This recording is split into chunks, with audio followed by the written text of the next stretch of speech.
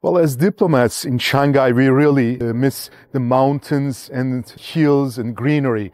So this is a good combination of both nature and industry. I mean, I appreciate a lot development that Anhui has shown. It's now in the first one of the 10 provinces with regard to its GDP. It's a big, big development for this province which is usually a bit squeezed between Shanghai and two giants, Jiangsu and Zhejiang. So I really admire the efforts put by the Anhui government to increase its output and to contribute to the GDP of China. I mean, the strength of the cooperation depends on the means of uh, contacts. I mean, the number of the flights, the number of the train, the freight trains uh, between the two countries. So it's definitely a big impetus for us to increase our trade. That will definitely help more because with Belt and Road Initiative of China, Turkey's middle uh, corridor uh, initiative is two important logistic initiatives that really help to bring two countries together.